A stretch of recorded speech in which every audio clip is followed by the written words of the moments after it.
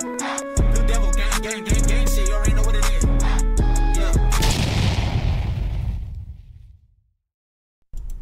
All right, check this out. You guys are back on an episode of Blue Devil Reactions. And what we have going on today is something different. Now, look, every day we've been experimenting to see what uh, you guys like to watch. Uh, and today's video is panhandlers caught driving rental car traveling around town to solicit cash. Uh, now let me say something. The reason I picked this video, not only did it pop up on my feed, but I could relate to this. You know, I got a story to tell from a few days ago, uh, and I will tell it in the middle of the video. Plus, I'm always giving money to panhandlers and uh, homeless people, right? Less fortunate.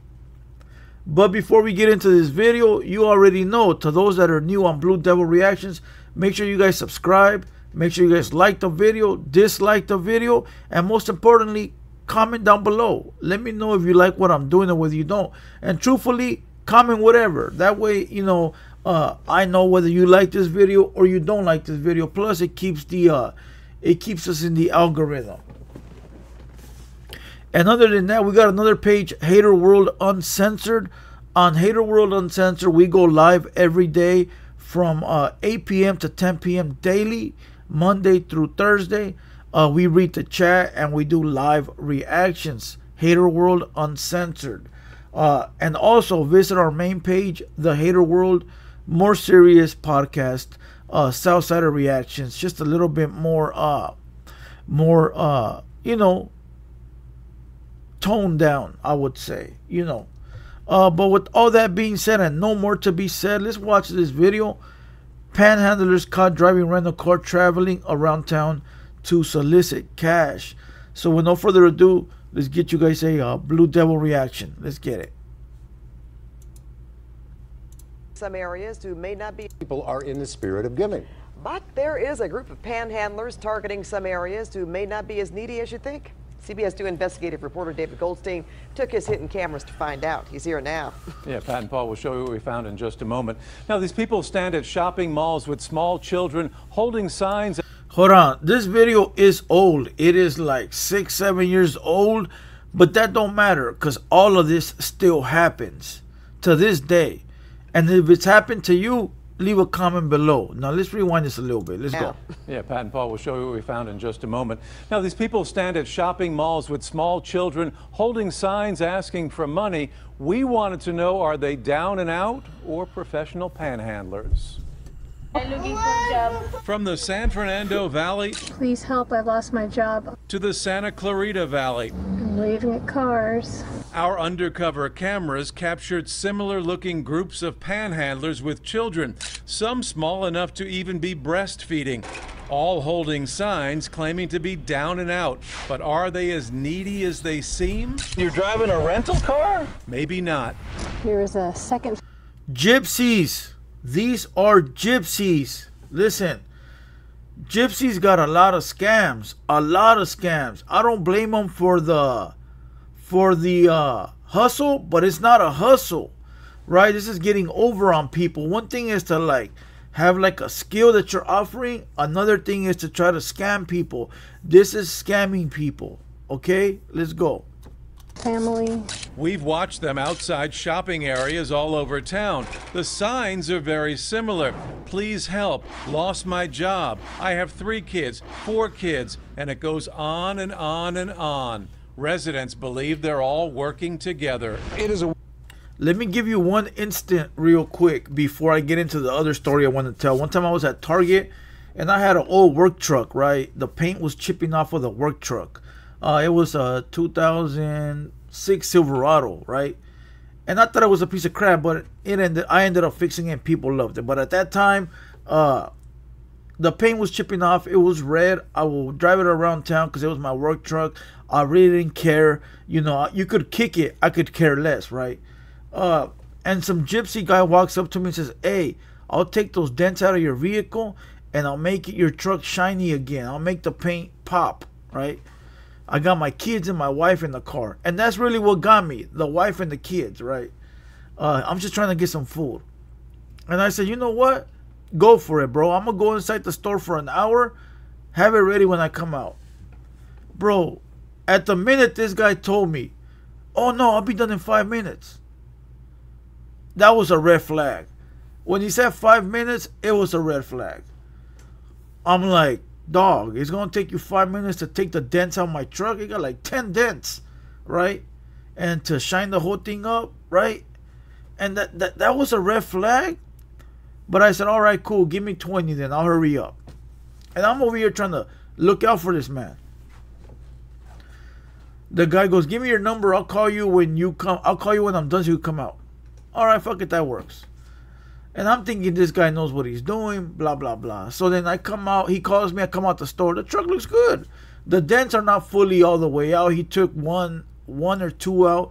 He had like a plunger thing, right? And I'm like, all right, you know, it looks cool. And then he tries to hit me with like, oh, it's gonna cost you like 85 bucks. I go, 85 bucks? What the fuck did you do? Like, bro, right? Like, and he goes, yeah, $85. I go, look, my guy, we're gonna make this very simple. I'm gonna give you 30 bucks. You could take it, or you could leave it. And he's trying to argue with me that he did all this, blah, blah, blah. I'm like, look, I'm gonna give you 35 bucks, you take it or leave it. Well, he took it all pissed off, right? All right, cool, whatever. A couple of days later, bro, I'm cleaning my truck out, and he left his spray bottle in the in the truck in the back, you know, in the in the in the cabin or whatever. Bro, tell me why it was gasoline in that fucking spray bottle. I smell it, fucking gas. This cocksucker got me, right? I see him a week later at a ga- different gas station around the same area. He walks up to me and tries to sell me the same scam. These guys scam so many people they forget who they scam. You feel what I'm saying?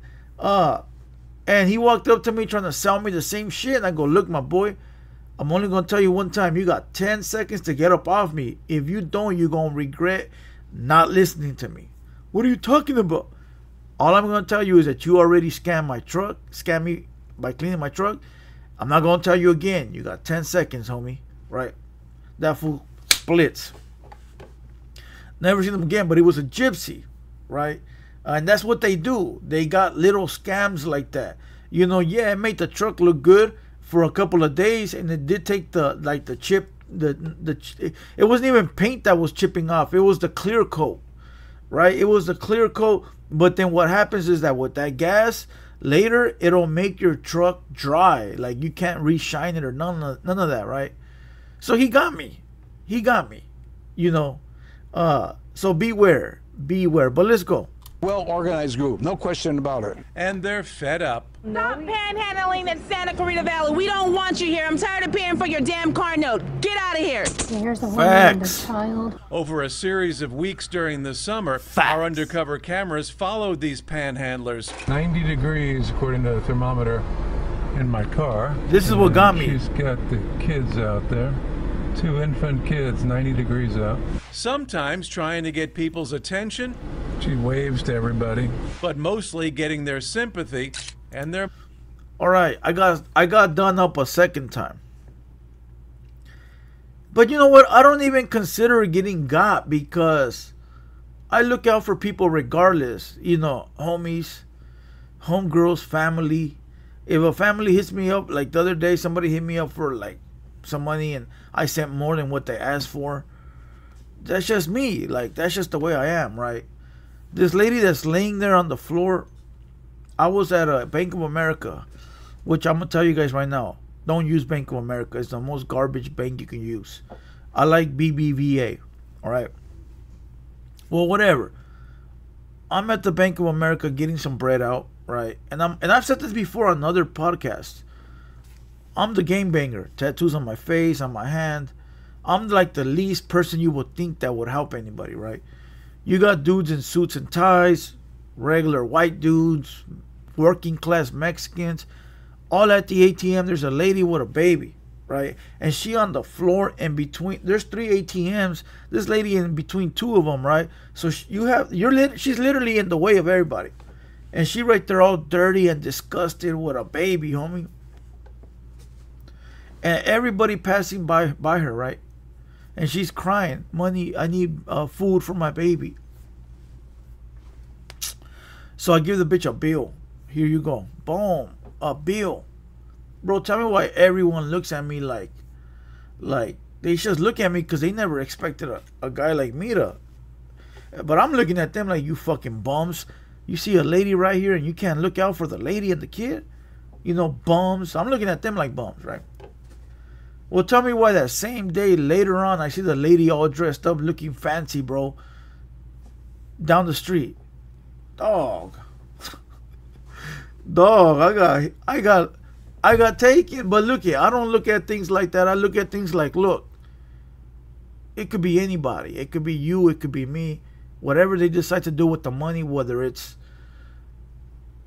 smoke it up, buy food, whatever it is, I don't care. I did a good deed and that's all that matters, right? I'll tell you the third time right now. money. They're getting in this van now.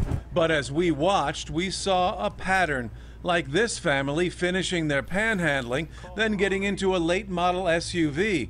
The young girl making sure they didn't leave their sign behind. Same sign. Or this group that panhandled outside the Fallbrook Center, Now they moved to uh, Westfield, Topanga. only to drive to another mall a few miles away. Oh, you lost your job? Oh my gosh. Our undercover producer approached this woman and daughter who All right. See the little kid in the bottom? That's the worst, bro. That is the worst. That pisses me off so much. That pisses me off so much that you don't know how angry I feel for that mom, right? This Saturday, Sunday, I was at the mall. I actually even saw a Hater World supporter salute my boy. He know who he is. He caught me in the mall with my nephews. My nephews were picking out some clothes. Uh, uh, a homie passed by and recognized me and shook my hand, salute, right? Well, when I left, there was a family outside the mall asking for money, right?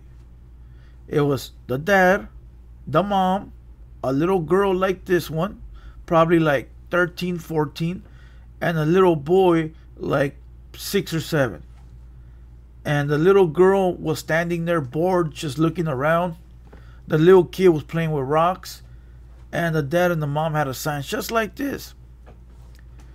And I was with my nephew, and I told them, look, this is a scam. They got me before, they ain't gonna get me again, right?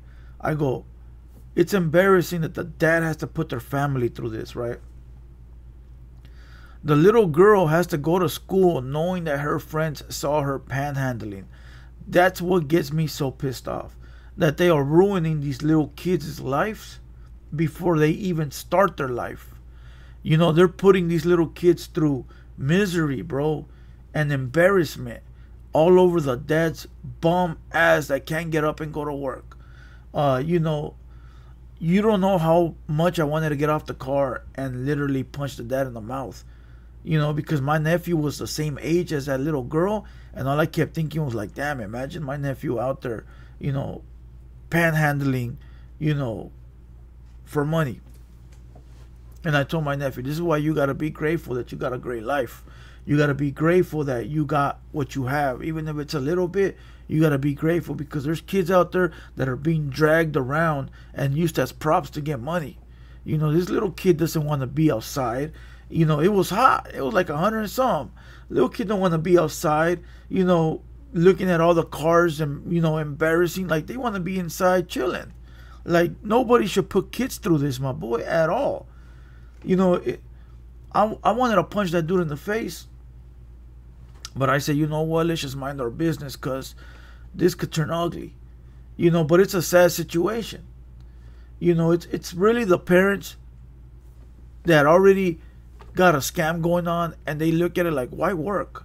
Why do we need to work when we can make out like bandits? 100 bucks a day, 30 days, that's three racks. You know, guaranteed that they make more than that. But when they involve kids, bro. admitted that sh- And I didn't give them nothing.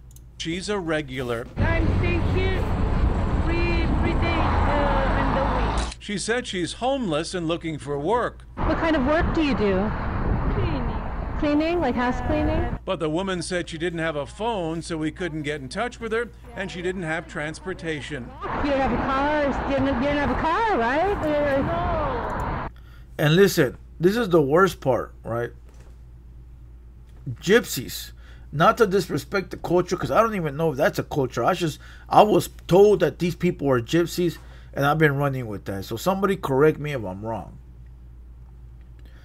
But the fucked up part about it is that they're coming here and they're really abusing of the people because they got scams. They sell fake gold.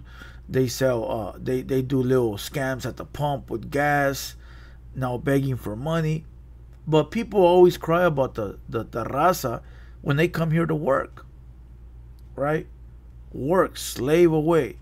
Even though I got a story I'll, I'll give you guys right now, maybe, about actually this Sunday I gave up Aisha some money too. But let's go. Oh, the bus. Oh, okay. The bus takes you. But a few minutes later, we saw her walking with the man in the red hat, and they got into this car, not the bus. She ended up outside of Ralph's around the corner, sign in hand, when we went up to talk with her. David Goldstein with CBS 2 News. Oh no, sir. You've been, we've seen Yeah, these she knows signs it's a all over scam. town. Are you guys part of some organized ring? No, no, no. What are you doing? Are you are you really homeless? Are you really out of work? Yes, you, I'm you, homeless. You told our undercover producer you Yes. took a bus here, but we saw you get in a car with a gentleman earlier. Oh, I'm so sorry. Yeah. She hustled away. And finally, we saw this mother and son panhandle. Listen, when I was young, I was probably like 14. I had a neighbor, little white boy, right? He was older than me. He was like a like a little rocker dude, no gothic, all black, big old chains. I still remember him, right? And he lived like two doors down to me, and we lived in some nice ass apartments, right? Like nice ass apartments. And I would always go to his house. We would smoke weed. He had a nice ass apartment, and it was just his mother and him. And every day he would come back with loads of money, bro damn bro where do you get that money from and you know being small 14 13 you're trying to get put up on game i want some money too right and he's like i panhandle i make over a hundred bucks a day just asking people for money bro this motherfucker was like 20 probably damn that young i remember i thought like hell i can't ask for money like it was never in me like to go out there and ask beg for money like nah hell nah but I always used to be like, damn, this fool, this fool out there getting people at this age. So believe me when I tell you, these little kids that you see in the video, it's fucked up, but they grow up to do the same as their parents. Handling outside a Walmart, only to get into this car that came back registered to Enterprise Rent a Car. Is that right, really? To, to Wow. Be out there asking for money? Bum-ass And, and you're driving a rental car? I mean, you're driving a 2016 new car and you're out asking for money. You guys have the same sign of all these other people that have been out here. Is that some kind of ring that's going on or something? You think they're running a scam? You know which other one's a scam too? You know when people have the sign that says somebody died and they're trying to pay for the funeral? That one's a scam too. I've seen them all the time. Uh, and people donate. That one's a scam too. It would appear to me, yeah. LAPD Detective Gil S. Contreras looked at our undercover pictures. He used to work the Bunco forgery unit and came in contact with similar groups in the past. From your experience with these people, i- is it an organized crime? It's almost to the point where you may call them a disorganized organization, if you will, where they probably sometimes, uh, like any type of or organized theft group, um, where they will um, coordinate with each other as to who's going to take what position, what spot. He says it appears they're one of a number of groups who travel around the country preying on the heartstrings of people to make money. And he has doubts about their unemployment status. For many people, this is their job. I mean, on the other side of the shopping center right now, there's another family with almost the same sign. Where are you going? Why are you running away? Now, police say the panhandlers aren't breaking any laws. It's not illegal to ask people for money, but they say if you're in the spirit of giving, it might be best to give.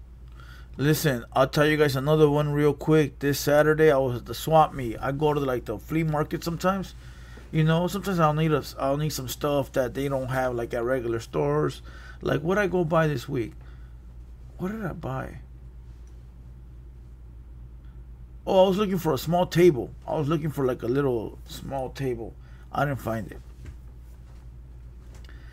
And there was a there was you know it's full of Mexicans and shit, you know.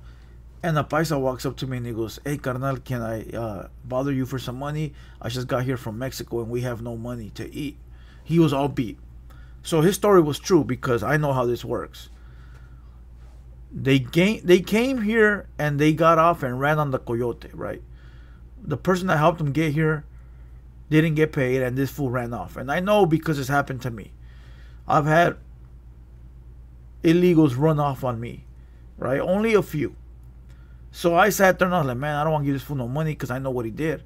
The homie that brought him ended up not getting paid because this fool jumped off the whip or whatever and got away. So now the homie that brought him didn't get paid, and this fool out here asking for money because he in the middle of nowhere. But I was like, you know what, homie got to eat regardless, and I gave him some money. But that one's a little bit more understandable, even though it it hits home. But listen, listen, I don't say don't give people money. Do what you want. If your heart tells you to give, give. As, as long as you do a good deed, that's all that matters. But don't be fooled there's a lot of people out there that are just preying on the weak. Uh, with that being said, and nothing else, uh, nothing else to be said. I hope you guys enjoyed this one. It was long, it was different, and it, it did have a lot of personal stories. So I hope you guys enjoyed it. Let me know down below in the comments if you guys ever had this issue, or if you guys can relate to any of my stories. Uh, and with that, be, with that being said, once again, this is an episode of Blue Devil Reactions, and we gone. Yeah.